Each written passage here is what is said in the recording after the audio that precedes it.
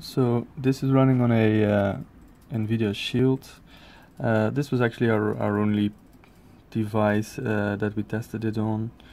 Um, and so this demo was done in, uh, in Unreal using the, um, uh, the Rise dataset by, uh, by Neuralise.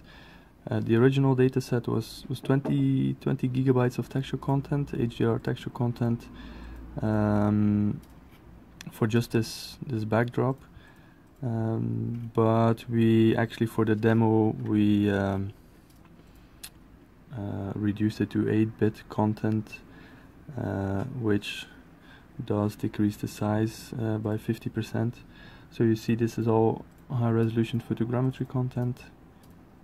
And this is constantly streamed in uh, into the, the memory by, uh, by Granite um, you can see what's going on when I put on the tiling. So this was actually an entire flush of the memory. And so when we move the camera we see these these tiles coming in. So you actually see the, the loading here on the right side. So this is new data that is that is loaded just in time by the system. Uh, with this view you can actually see what's going on but